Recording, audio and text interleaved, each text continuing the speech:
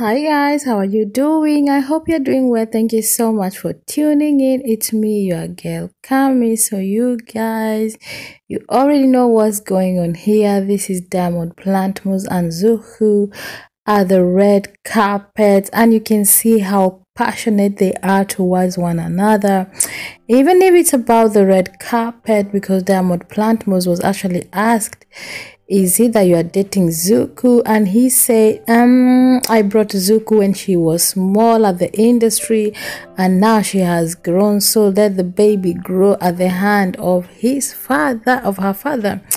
Yeah, that's what Diamond Platnumz is saying. He's still trying to you know to protect his relationship with Zuchu, but it's so obvious that these people are in love. You can see the passion, you can see them entering the red carpet. Even the fans know that Diamond and Zuchu, hmm, something is cooking. Anyway, guys, enjoy the video and I see you in my next one. Bye.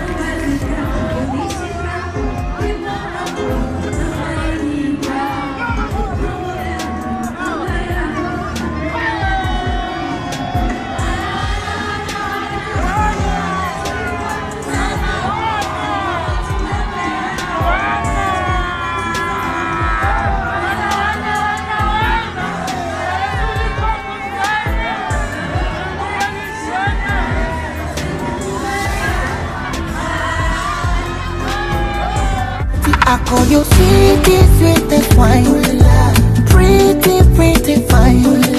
In yonder, will be more. Baby, I love you.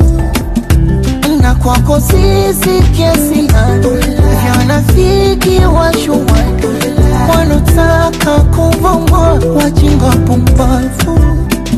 Kuna kipindi cha kula nisipo